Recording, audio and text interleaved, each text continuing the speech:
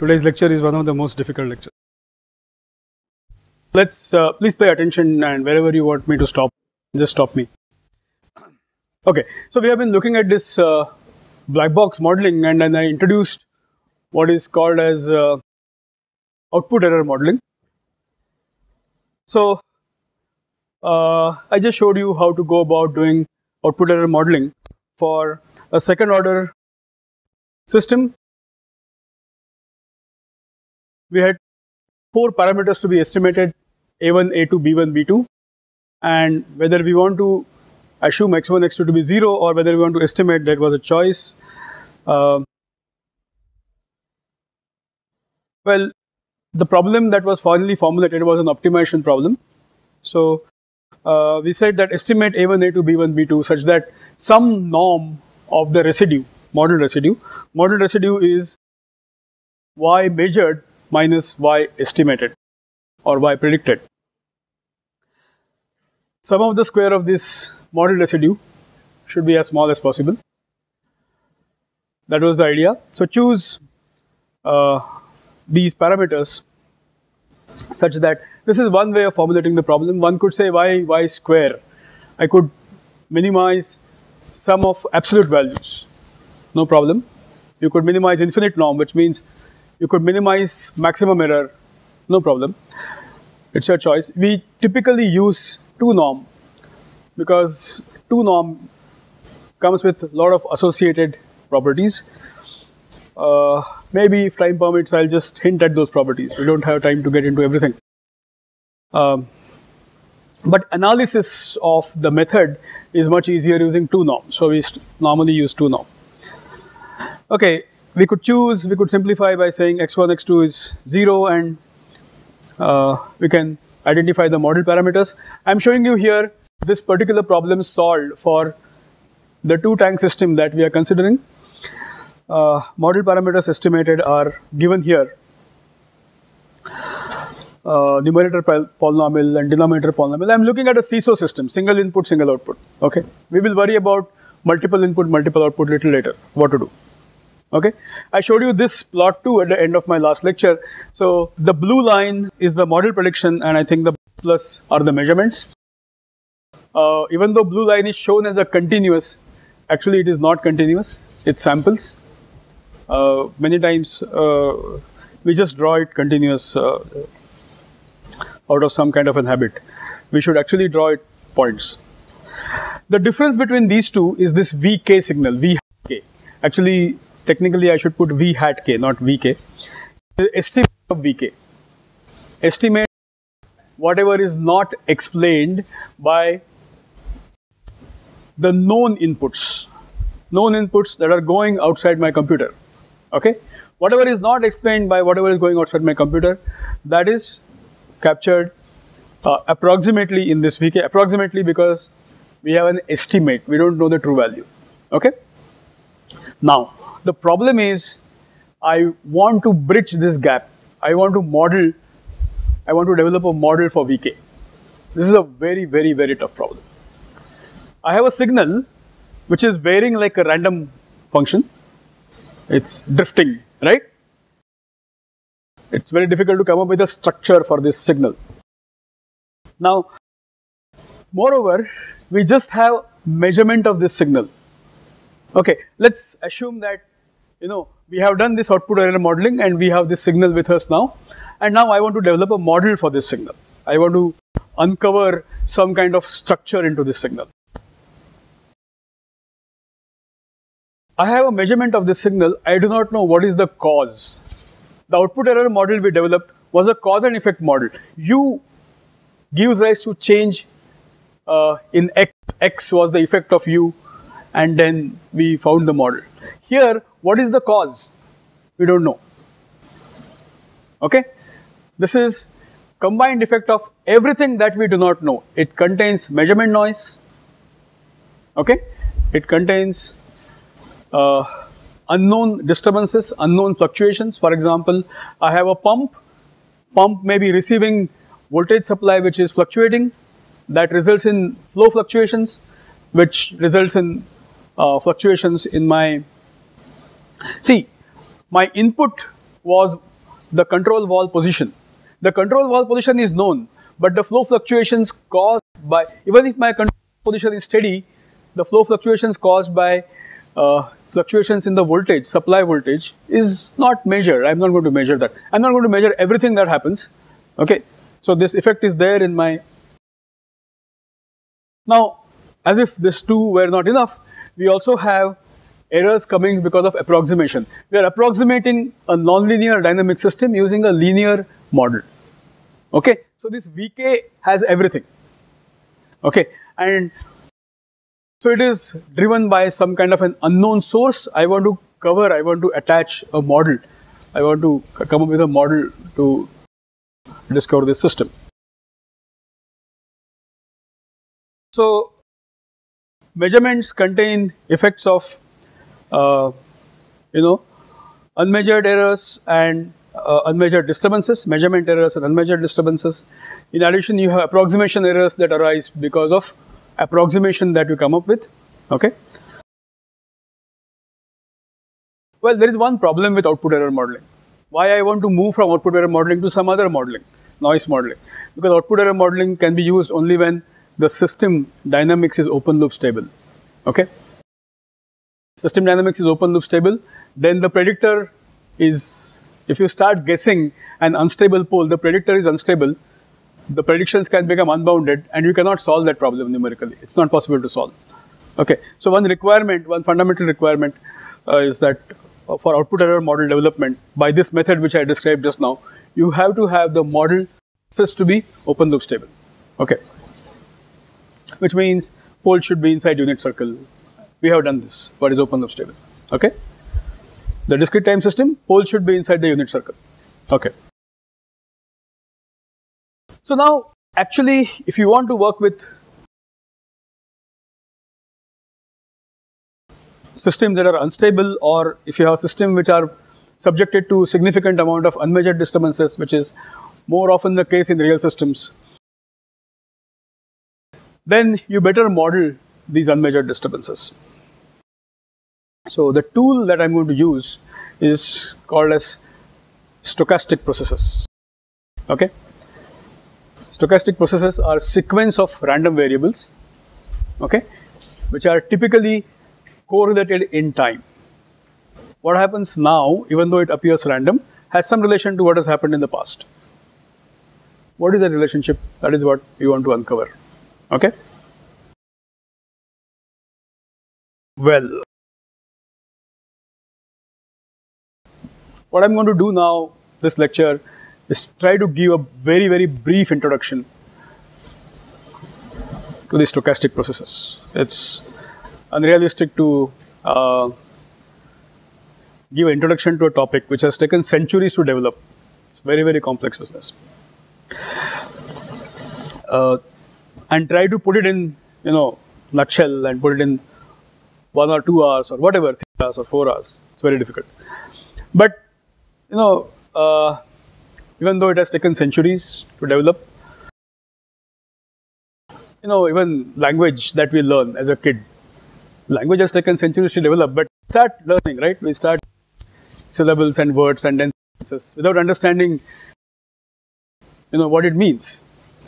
For example, take word responsibility. We start using this word at age of four or five or six without understanding what is the meaning of responsibility.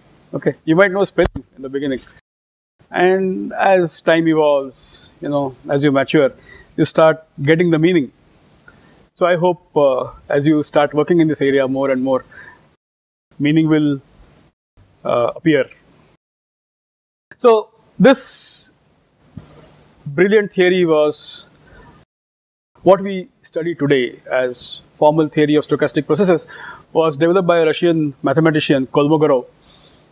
Around 1930s, he formalized the structure of this uh, stochastic process theory. The other uh, mathematician who contributed to this, I think he was Austrian, Wiener, was these two people stand out as giants in. Uh, so the formal theory that we have, actually they they sort of formalized this theory. It, the efforts were on since very long time. Probability and statistics is an old topic and people have been looking at it for a generations, but it took uh, around 1930s, 40s, where it took a shape that we study now. Okay, now let's begin with what is a random variable. A random variable is a mapping which assigns outcome of a random experiment okay to what is called as a to a real number okay. So there is some random experiment. For example the noise in the measurement okay i'm going to assume is a random number.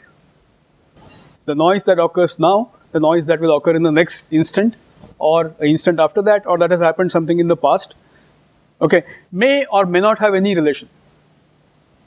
It is random. Okay. If you open an instrument manual you will see you know something like what is the standard deviation of the measurements? It will tell you what is the spread. If you keep the measurement measuring instrument into your into let's say i'm measuring temperature. If i dip a thermocouple into some constant temperature bath you expect temperature to be constant, measurement to be constant, but you will never get constant measurement. I'll show you actual data.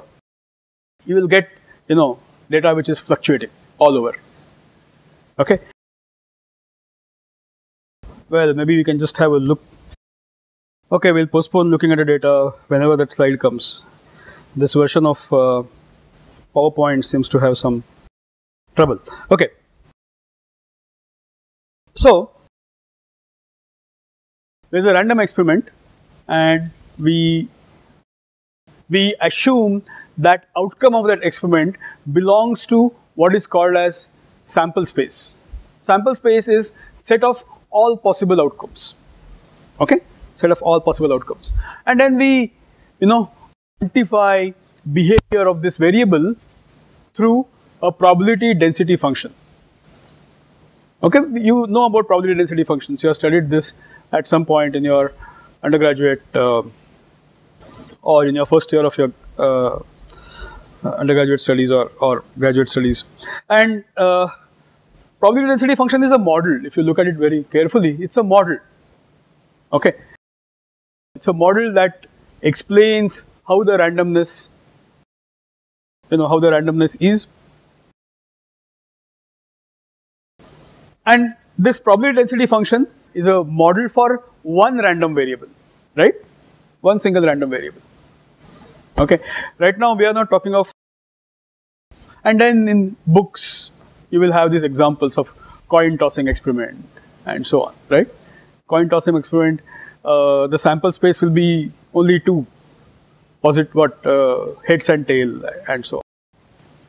Now this abstract concept called probability density function uh, it actually is a some kind of uh, you know a limiting notion which tries to mathematically conveniently express all possible outcomes of a random variable. Okay. Now, with this very quick review of random variables, I'm going to move to what Kolmogorov did. Stochastic processes. Well, this definition is hard. Okay? So let me preempt you. Today, you may not understand this in this course, but keep it in mind. You will understand it eventually. A discrete time stochastic process is a family of random variables. Now I'm going to look at a family of random variables, not just one random variable. So Vk, where k here comes from an index set. In the context of digital control, index set is time. Okay? If you call current time as 0, minus 1 is 1 in the past, minus 2 is 2 in the past, plus 1 is 1 in future, okay, plus 2 is 2 in future, okay. So in context of control, this is not the only way to define a stochastic process, but in context of control, okay, k represents time. Typically, we take some initial time 0 and we define a stochastic process going from 0 to infinity, okay. So that means it's a set of random numbers. Okay. So at each time point, okay, there is one random number attached. Okay. Yeah. Not a sequence. I take back. Collection. I need a collection. I, it's not a sequence. Sequence is a, uh, a specific sequence is called something else. I'll come to sequence little later. No, no, no. It's not one random variable. One random variable, when you take, it only has spatial dimension. That's a good question. See here, I have two. This random, this this stochastic process has two components. One is time, other is randomness. Okay, so I'm going to denote this stochastic process as k and is zeta. Zeta is the random variable, k is the time variable. Okay, k goes from 0 to infinity. This set, entire set is denoted by this random process vk zeta. Okay, vk zeta is a set which is okay no, no. Different values taken by this is called a realization. Let's. No, no, no, no. Don't confuse the two. Don't confuse the two. Okay. Uh, I'll show you a picture. I'll try to show a picture and then.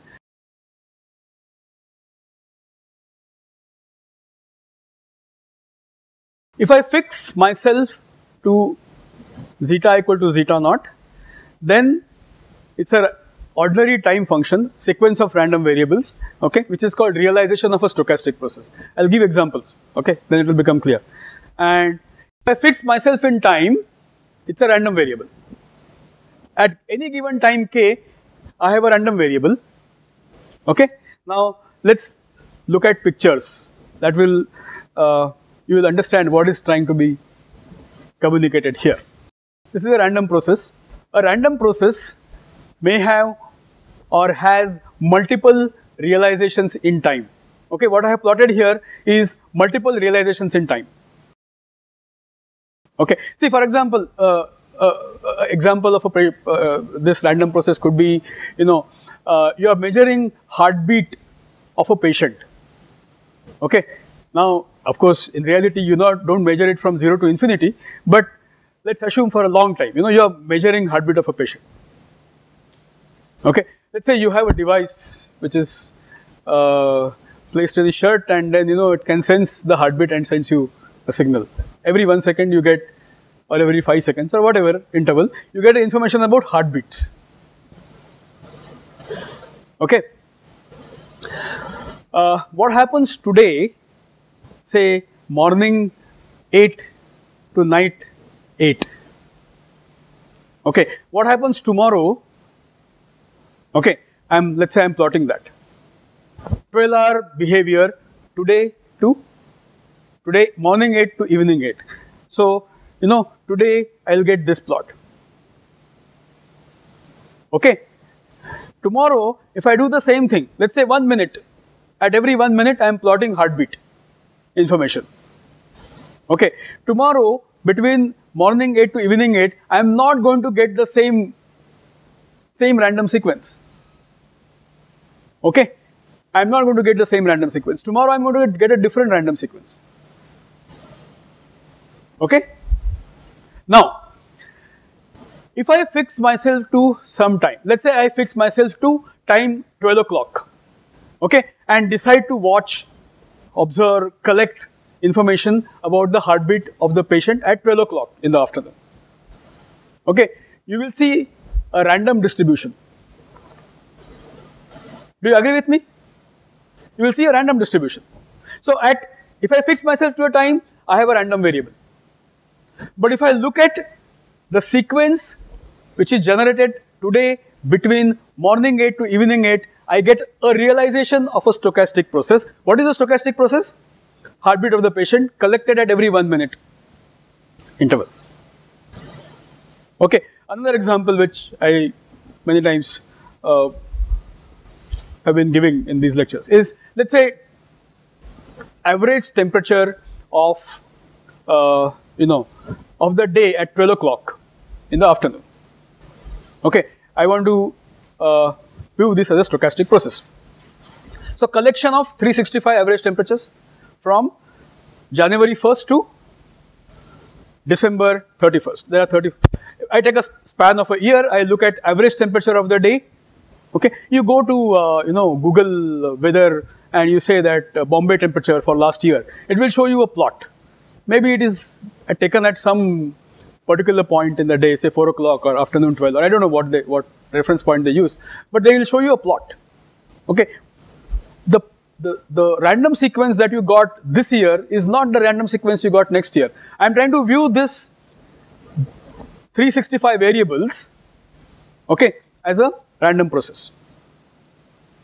They are connected, temperature, they are physically connected uh, collection of random variables. I'm not saying temperature and pressure and you know uh, any arbitrary combination. I'm looking at temperature at 12 o'clock, average temperature at 12 o'clock.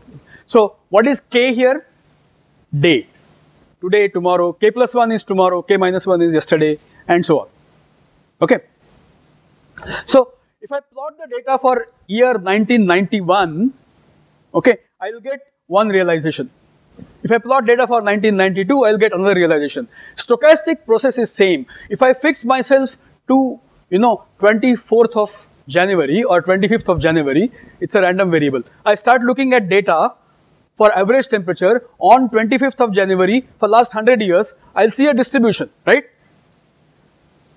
If I fix myself to 25th of January, so what it what is trying to communicate here is that if I fix myself to T1, okay, I'll see a random distribution.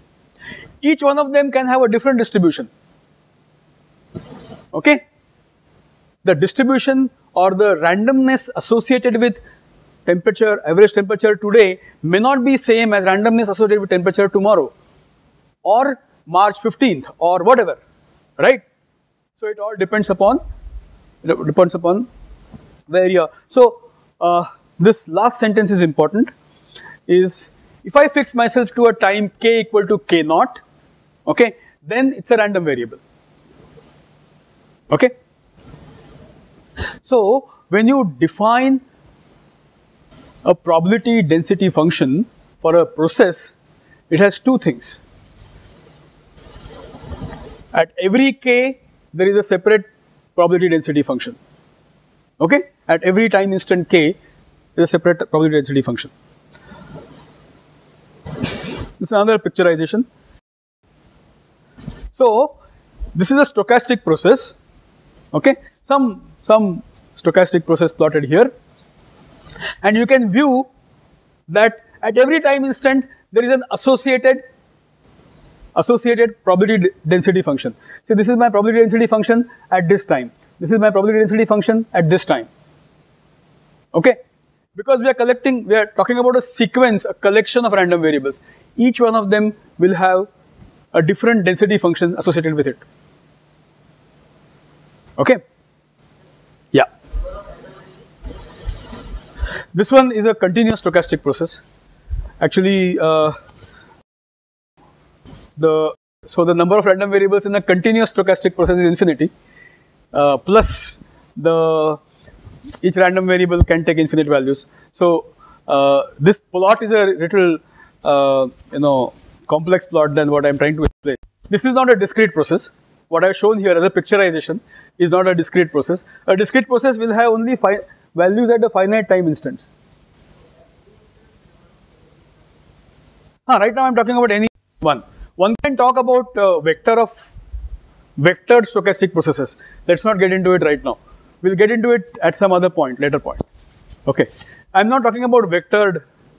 Okay, see for example, uh, you might want to say that uh, why one temperature, you know, morning 8 o'clock, afternoon 12, evening 4 and night 12. I want to you know, look at these four average temperatures. Okay, this vector. So it is a vectored stochastic process. You can view that way. It's not, it's possible. Okay. Or there are four patients attached to, you know, uh, four ECG and then, you know, you are getting uh, four random sequences. Uh, possible.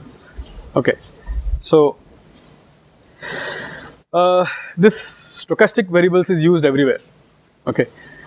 If you uh, know about this, you can enter into financial market and do, uh, you know, stock market studies, exchange. You can model uh, exchange rate fluctuations. uh, conversion currency conversions. Uh, you can model audio, videos, speech signals.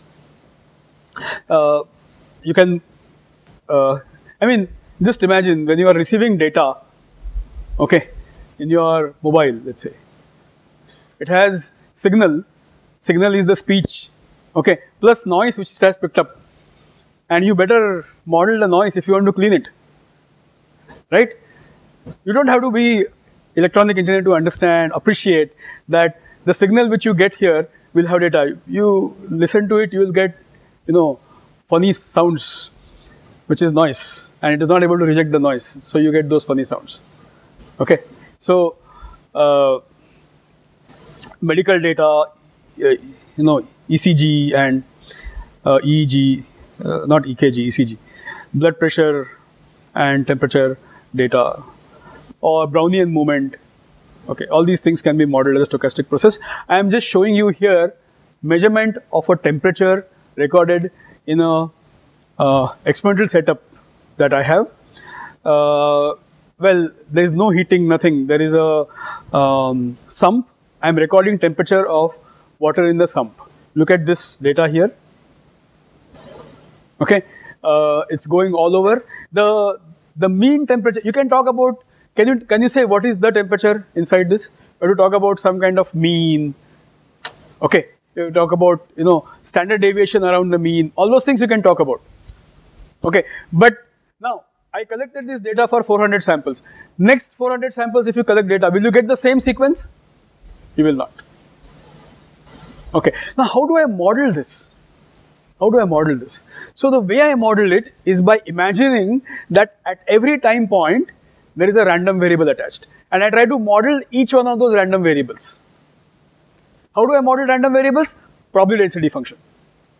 Okay, so if there are 400 samples, and if I can find out those 400 probability density functions, I am done. Well, looks very simple while talking, very difficult task. Okay, and coming with with an idea that one could model such a random behavior with a sequence of or a stochastic process took generations. It's not not not at all easy. Okay, so let's see whether we uh, understand this. How do you characterize this?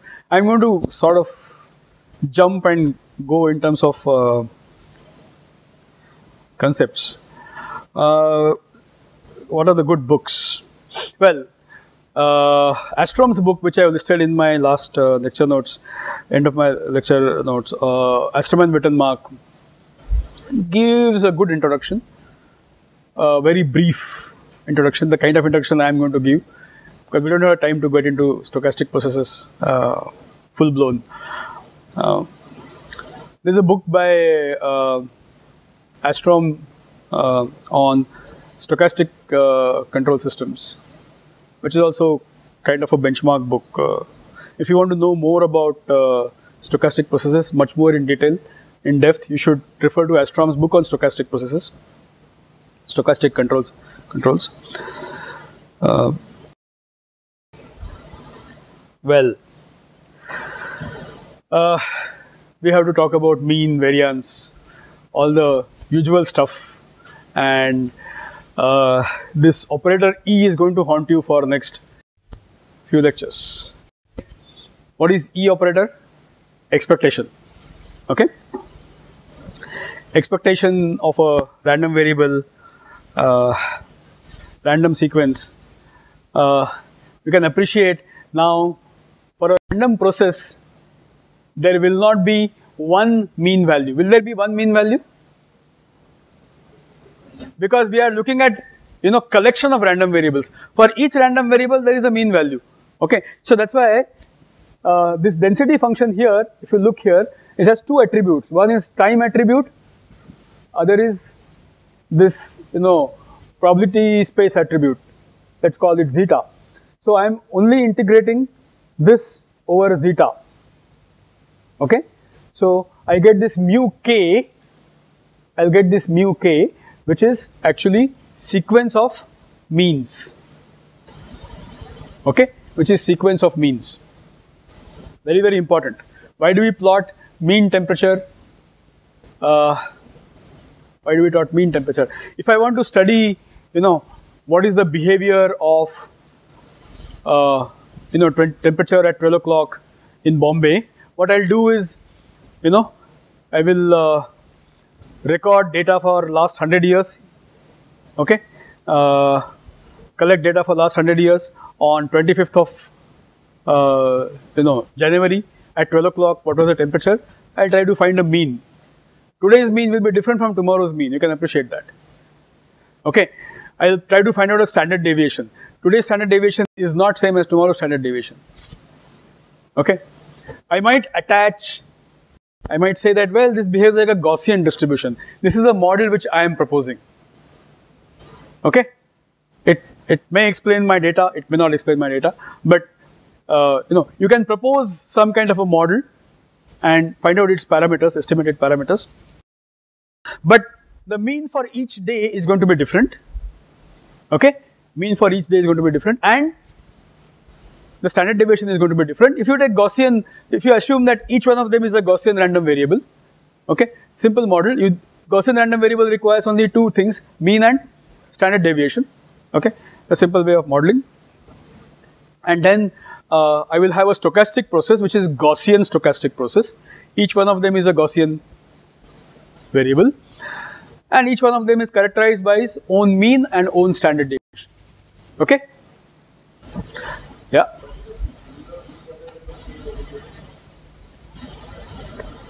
Uh, this is mean of mean. I am talking about you take mean temperature. Uh, okay, mean temperature in the sense. Uh, what I mean here is um, okay, I should explain the difference. Uh, average temperature as in spatially average temperature. Which temperature? In this room or outside? Okay. Or in the tree or in the sun?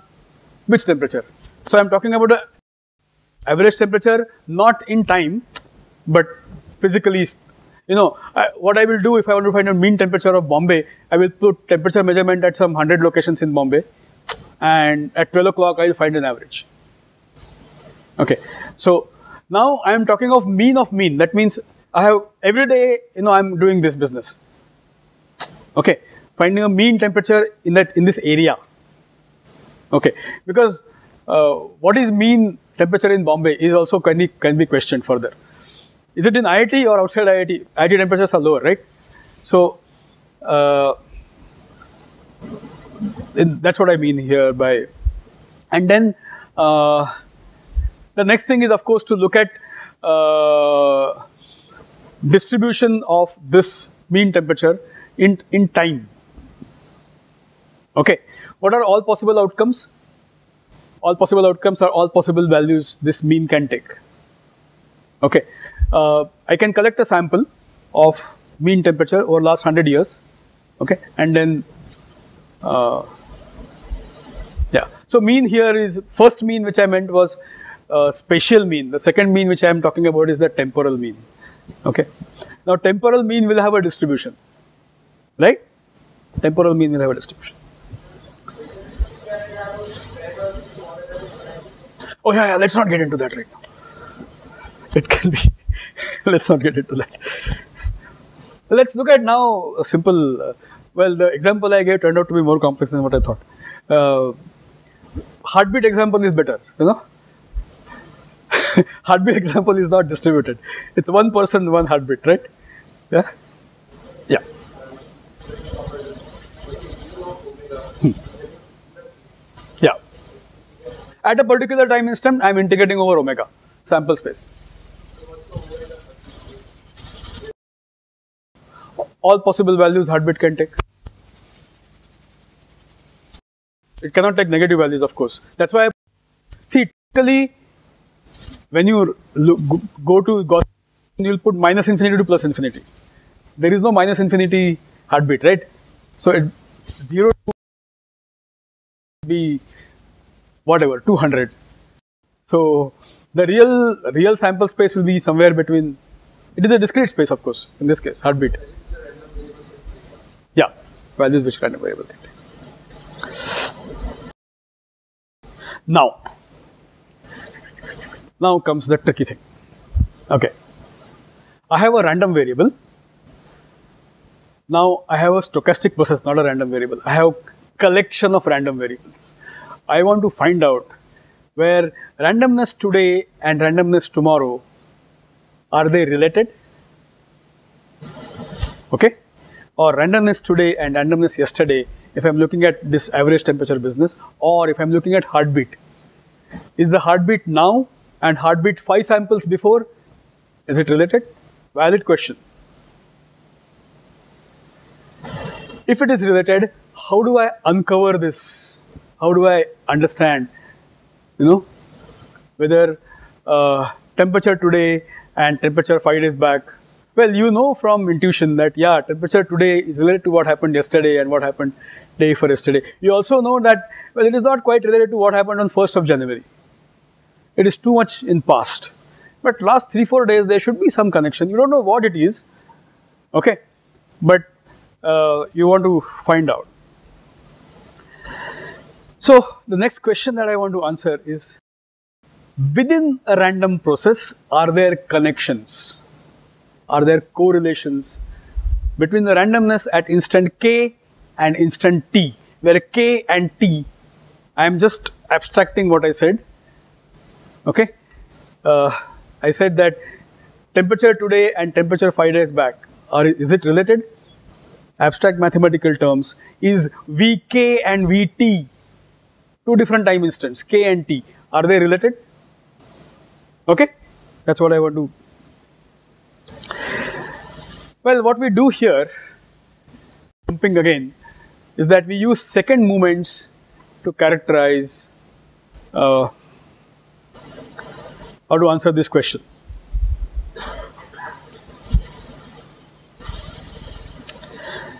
Okay. I'm going to define something called as autocorrelation of a function. Autocorrelation of a function. What is correlation? Just leave aside. What is correlation between two? When you talk about correlation, there are two random variables, right? And you can talk of expectation of jointly both of them occurring together when there are two physical, like you know, you talk of one coin and two coin, two coins being tossed simultaneously, okay, and then you can talk about uh, joint distribution and so on. Now here I am trying to look at you know correlation between instant k and instant t. Okay. What i'm going to do is i'm going to uh, define something called as autocorrelation. Autocorrelation is expected value of vk vt right now so expected value means it would need joint distribution function of k and t to be integrated with, I am not writing all those definitions, okay, because I am going to come with a simplified form little later. This is the most generic definition which I gave you just now is expected value of Vk Vt. So I need joint distribution of Vk Vt, okay, integrated over omega 1 omega 2 or omega k omega t, okay, then you will get this autocorrelation which relates between k and t. Okay, so autocorrelation function actually quantifies dependence of dependence of random variables within a stochastic process. See, I can ask this question, I have measurement noise, I just showed you data, temperature data in a sump. Okay, I can ask this question whether the temperature measurement at 200 instant, does it have any relation with what happened three instances before? Valid question. Okay? So within a within a stochastic process, are there relationships that is answered through this autocorrelation function? And then you can also ask the question whether two random processes are they correlated? Okay? Let me take humidity average humidity, average spatial average humidity, uh, let's say in IIT Bombay, and average temperature in IIT Bombay. Okay, if you if you start looking at this data, okay, uh, as a sequence of random variables uh, collected for 365 days. Valid question to ask is temperature stochastic process related to the humidity stochastic process? There, we know that from physics, I know that humidity and temperature are correlated, right? So if that that works in physics, it should work in maths. The stochastic process which is coming out or defined for temperature should have some relationship with the humidity data, right? There are two different stochastic processes. Are they correlated? I can ask this question. Okay. Yeah? No, no, actually, I'm going to further simplify. Ideally, yeah, these are integrals. I'm avoiding those definitions right now. Okay?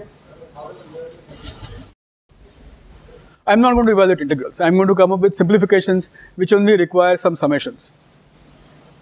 Okay. I'm going to define an idealized stochastic process soon. Okay. Just, just wait for a while. Okay. You can ask this question again.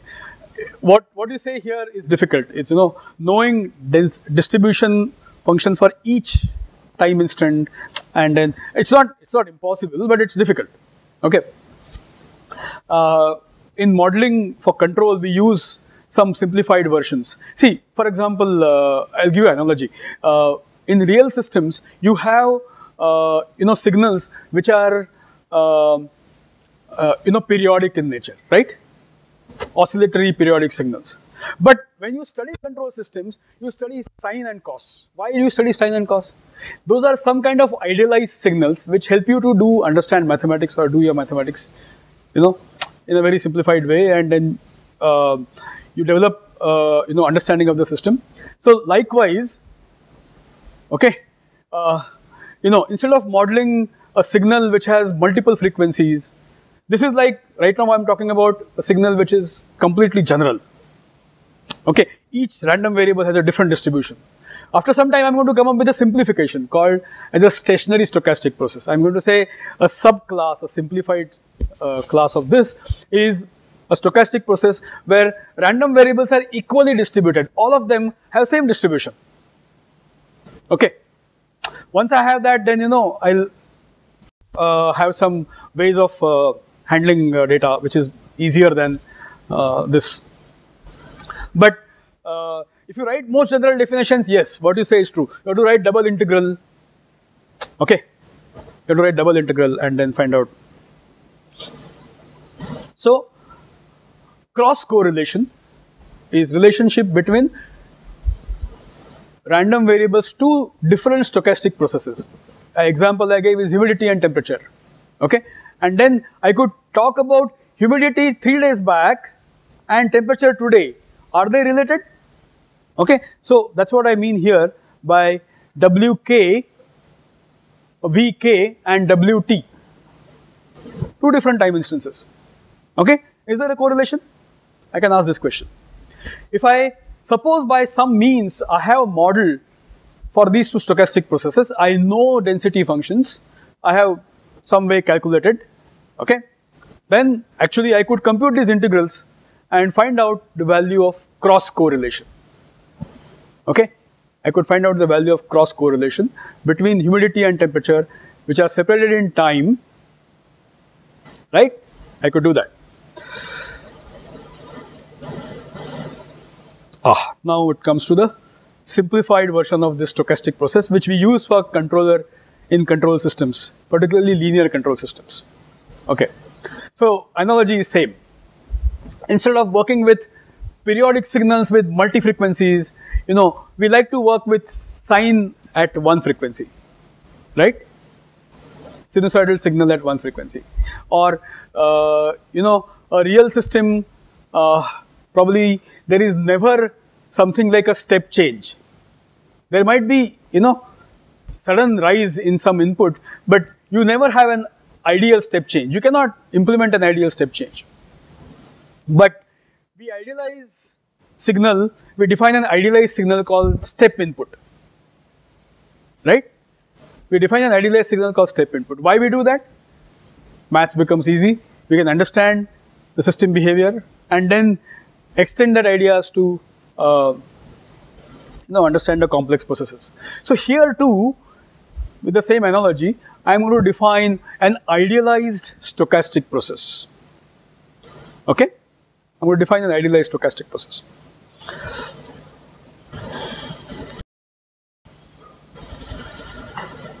Well, the first thing is that the mean of this idealized stochastic process is constant.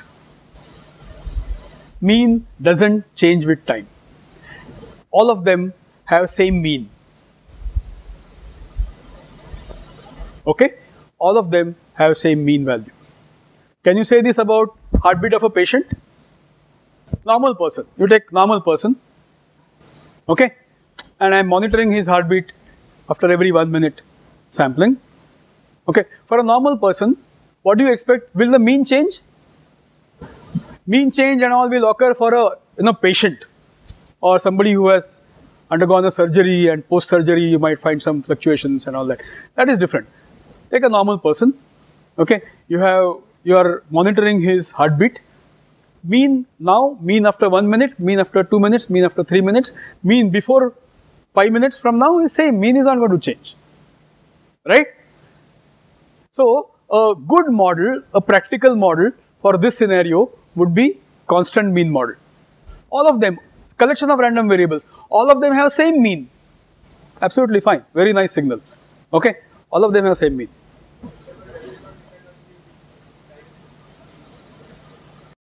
No, no, don't confuse with the reality and the model. This is a proposed model.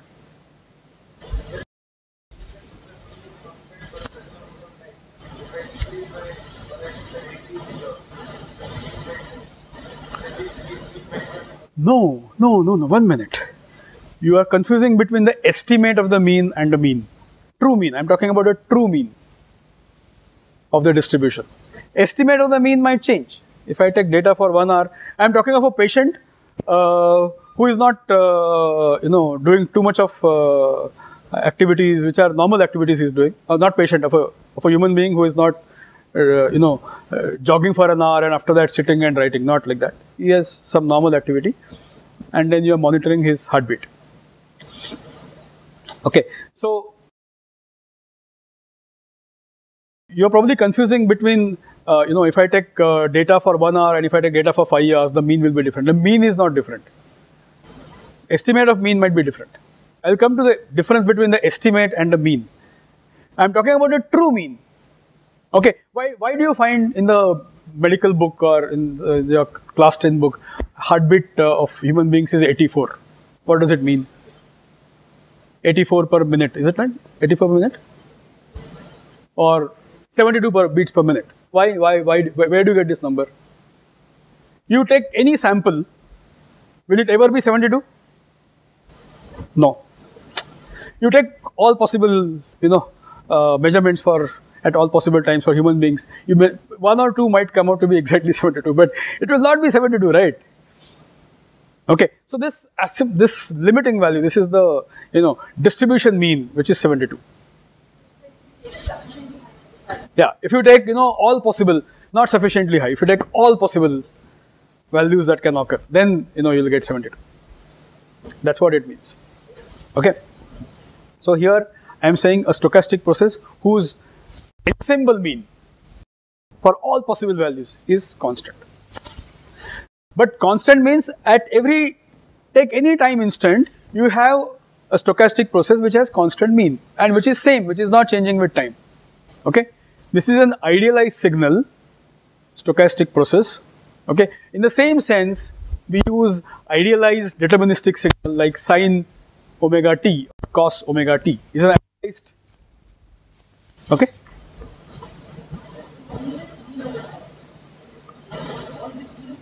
No, no, no. It's mean of that random variable, not over time. Because see what what we are going to do now. Now it's a very good question. Okay, uh, because you know it is constant for all the variables. We are going to mix the two. We'll take mean over time and say this is same as mean in the space. Yeah. Yeah, yeah. So because I make this assumption, I'll be able to use data in time to estimate mean in the space. Actually, I'm saying that, that I'm proposing a model that there is a constant mean.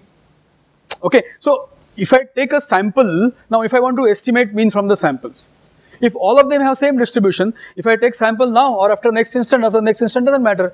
I collect all of them and take a mean. Okay, because all of them are coming from the same distribution, same mean. Okay, so that actually helps me to simplify computations. So this is an idealized, idealized model. Okay, there's one more thing required for this idealized process. Okay.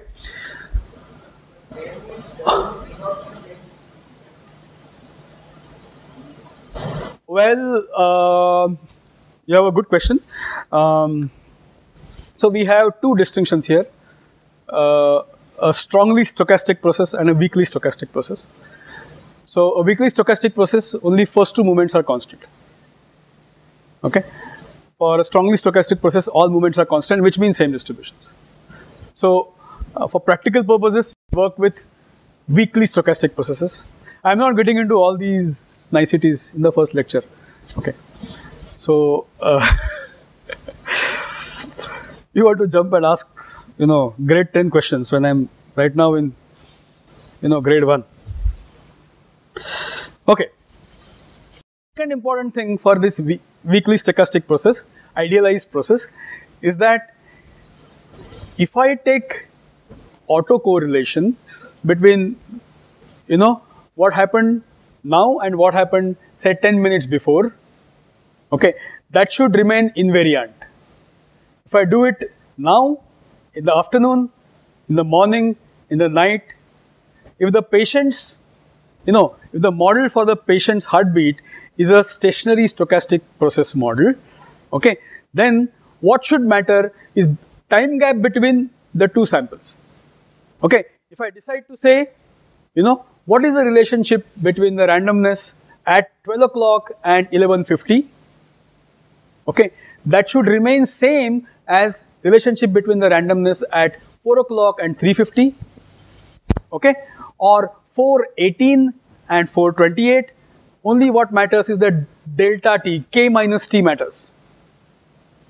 Okay? It should not matter where i am in time. Okay? Such a idealized process such a idealized process okay is called as weakly stationary process. Well i have already uh, thanks to you, I have already qualified, you know, strongly stochastic and strongly uh, stationary and weakly stationary. Weakly stationary is only two moments are satisfying these conditions. We cannot say anything about the higher moments. If first two moments satisfy this condition, then it's called as a weakly stationary process. Uh, if you take all of them have Gaussian distribution with identical mean and variance and you know uh, autocorrelation, then it follows that uh, you know identical distributions. What we work in practice, you know, I'm starting with most general thing. What we work in practice is Gaussian random variables, which are identically distributed. Okay, that stochastic process is very simple to handle and most useful in modeling. So what we use in practice is sequence of random variables which are identically distributed. All of them have same mean all of them have same distribution. Moreover, we many times assume that all of them are Gaussian. Life is simple after making this. Okay, probably when uh, Kolmogorov or people who started looking at this, they started looking at these simple processes.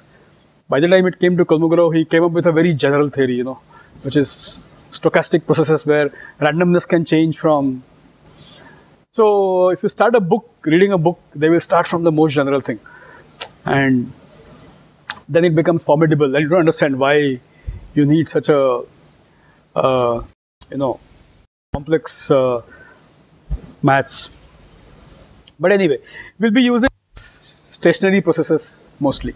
Okay, so uh, that what uh, you asked, uh, Smita asked is very very very uh, good question. Because of this particular thing, because all of them have same distribution, okay, or all of them have same moments, first two moments, I can just pick samples in time and then estimate mean, estimate. Uh, is that okay? Everyone with me on this? You want to stop me? Stop anywhere here? No? Okay. Now, so what is the advantage? I can estimate the statistical properties using samples collected in time. See, what will happen? Uh, can I can I find out average temperature of today by taking samples in time? Yesterday's temperature, tomorrow's temperature? I cannot. Right? A stochastic process, which is you know uh, the first one which we are talking about, you will have to collect average temperature on 25th of September, uh, 25th of January for last 100, 200, 300, 400, whatever those many years. You cannot take time samples because this is not a stationary stochastic process. Okay, but heartbeat model is a stationary stochastic process. I can take heartbeat 10 minutes back now, after 10 minutes, after 15 minutes. I can collect a sample of heartbeats, take a mean because mean is constant, not changing with time. Okay, so for that that model, I can use time data to. Here I have to do time data means I have to collect data, you know, uh, in a different way. Right? Do you understand the difference? Okay. Yeah. Huh.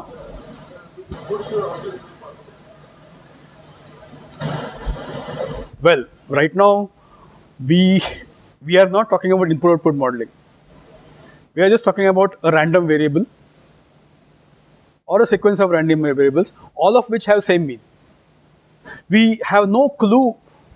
There is no cause and effect modeling right now. Okay. There is no attempt to assign any cause. It's just, see, when I'm saying if I develop a model for the temperature, uh, you know, uh, mean temperature uh, as a function of time in a, in a, in a day using some data over 100, 200 years, uh, it is not uh, what uh, what I'm saying is um, it's a first of all it's a model that you have to understand. It's a proposed model, okay, and it is not. Uh, can you repeat your question? Let me. Uh, huh. Huh.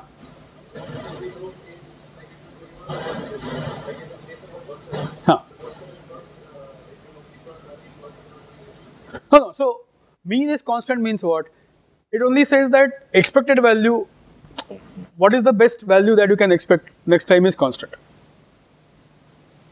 Okay. Every time if you ask me to say what is the best best guess you can give, you will say 72. Because that, that mean is not changing with time. Okay. That mean is not changing with time. So, uh, no, but but you have to understand this that this is a proposed model. Okay, this is the model which fits. See, in in uh, uh, in chemical engineering we study CSTR, right? Stirred tank reactor and PFR. If you go to a real plant, you will never find a CSTR. I mean, you will find something which is reality is between a CSTR and a PFR. That's something. It might be close to this idealized thing called CSTR. It might be close to idealized thing like PFR, but they may not be, you know, a perfect. Okay. So perfect mixing based reactor is an idealization. Okay. So constant mean over time. Okay. Set of random variables whose all of which have same mean is a idealization. Okay, is this idealization. Does it answer your question? We can see as we go further. You know, you can probably ask me again this question. Yeah. Huh. The mean at 10 a.m. Huh. Is the same as mean at 10 10 or mean today at 10 and tomorrow at 10 Yeah, yeah. All of them have same mean. Any every minute. See, I have uh, one random variable at each minute. I'm proposing a model. I'm proposing a model. Understand this? That all of them have same mean. Okay. It doesn't change with time. It doesn't change with time. So because because of that, you know, uh, what happens next instant is drawn from a realization of a random variable which has same mean Okay, let's assume that it has same distribution. If it has same distribution, then I can use a sample at this time, sample at next time, sample at next time, and then. Okay, but this is not possible for the stochastic process where temperature is taken over a year. I cannot use data of yesterday because yesterday's mean is not constant, uh, is not same as today's mean, is not same as tomorrow's mean. Okay, it's it's different. Okay. So one can of course propose a constant mean model for the temperature variation, but that will be a bad model. That will not fit the reality. Okay. Uh, now, some interpretation of this. Uh, we'll, we'll start using this on the real data when you will understand this. Now, I have a problem of chicken and egg. I have to first define the language and then start using it. Okay. So, I'm defining all these terms which I'm going to use subsequently. Autocorrelation, correlation correlation function, and you know. Uh, so, what is what is uh, expected value at when k and t both are equal to 0, what will you get? See, what is expected value of, see I have this random variable vk, okay? For the time being, okay, let's consider uh, expected value of vk will be mean, right? Okay. What is expected value of Vk square is variance, right? Is variance. This is nothing but expected value of Vk comma Vk or Vk into Vk, sorry not Vk comma Vk, Vk into Vk. So which is which is same as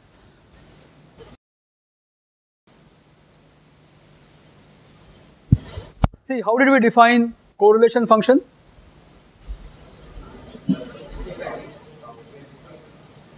okay we defined the correlation function here which is difference between k minus t okay oh.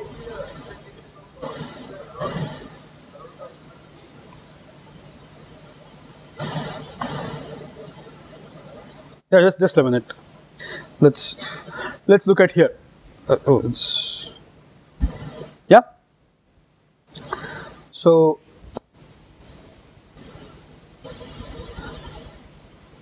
see what is uh, what is what is autocorrelation of Vk with Vk? I can ask this. See, we are talking about Vk with Vk minus one. Okay, Vk with Vk minus 2. What about autocorrelation of Vk with Vk?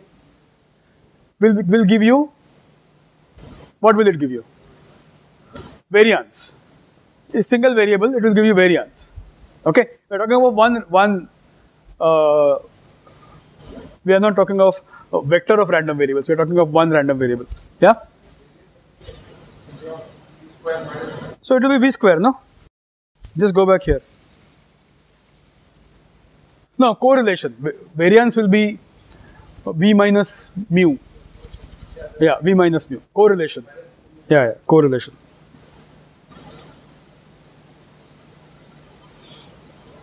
Yeah, it will be, uh, well, I should not say covariance, correlation function. This is here, uh, well, I don't want to modify here.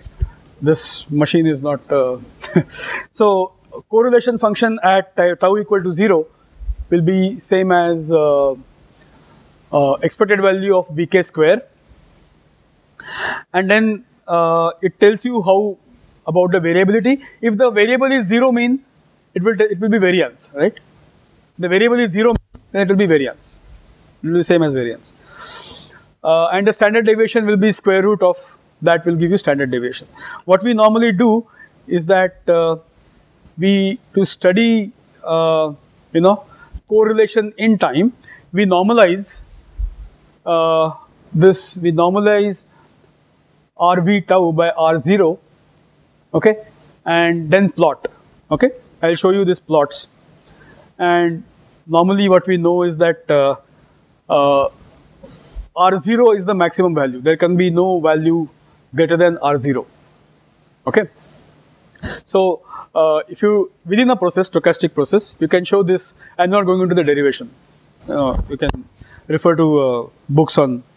So I'll just show you. Uh, uh, oh, see. This is. Okay, let's go back and come here. Okay, this is the signal. You remember this signal that we had. Uh, okay, I'm now going to apply these ideas to this this signal. I have this signal here. Okay, I'm looking at this as a stochastic process. Okay, there are 250 uh, samples. I think there are 250 samples. Yeah. Okay, so this is a stochastic process. I want to ask question whether Vk and Vk minus 5, Vk and Vk minus 6, Vk and Vk minus 1, are they correlated?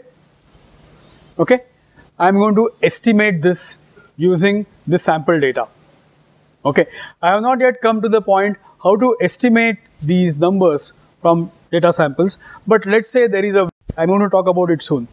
But before that, I want to show you how these correlations look like. Okay, I, so uh, a model, see I am trying to construct a model now by saying is there a relationship between randomness at time k and k minus 1, k and k minus 2, k and k minus 3. Does not matter. If I go at 150, you know, 150 and 150 at 145, okay, or you know 100 and 95, or 95 and 90. Are they related? Okay, I can estimate this using this autocorrelation function. Okay, autocorrelation function can be estimated directly from this data. Okay, now I'm going to go, uh, you know, uh, in a little uh, funny way. I'm going to show you the plot of auto autocorrelation first, and then I'll come to how to compute it. Okay, so let's get first physical insight into what is autocorrelation. So what I want to uncover here is that is there a relationship between, you know, uh, you take any point here, let's say this point, and 5 samples before, or 10 samples before, or 20 samples before. Are they related? Okay, what I'm going to do is to look at autocorrelation within this stochastic process. Okay, that will tell me how does the autocorrelation plot look like. Do you see this graph here? I have plotted two things here. One is autocorrelation, that is Vk, Vk minus 1. So this is, what is this first point? Vk, Vk, lag 0. Okay, what is the second point? This is R0, the first point here. The first point here is R0. What is this? R1. What is R1? Correlation between Vk minus Vk minus 1. This has been normalized using the variance at 0. Okay. So that's why maximum value it takes is at instant 1, instant 0, lag 0 is at lag 0 and it is 1. Okay. But you can see that there is a relationship between randomness at k and k minus 1, k and k minus 2, k and k minus 3. Okay. So this is a, so this simple calculation of autocorrelation tells me, well, I am assuming that this is a stationary process. Okay, this is a stationary process. I modeled it as a stationary process. And then I am trying to find out correlation within this randomness. Okay, so that gives me this particular plot. So it tells me that this is not completely random. What is happening at k has relation to what is happening at k minus 1, lag 2, k minus 2, k minus 3. In fact, you can see even if you go 25 instance in the past, there is still relationship and very strong relationship. Okay. What about relationship between u and what are the what are the two stochastic processes? I am looking at input which is given to the excitation as an signal and uh, trying to find correlation between the VK and UK. That is the second plot. We'll will not interpret it right now. Just look at this. If this correlation coefficient, okay, if it is close to one, that means there is a strong correlation. Okay, if this correlation coefficient is close to zero, which means there is no correlation. Okay, if this correlation coefficient is positive, then it, there is a positive correlation. If the correlation coefficient is negative, this is a negative correlation. Okay, and autocorrelation can be of different shapes. I'll show you another. Uh,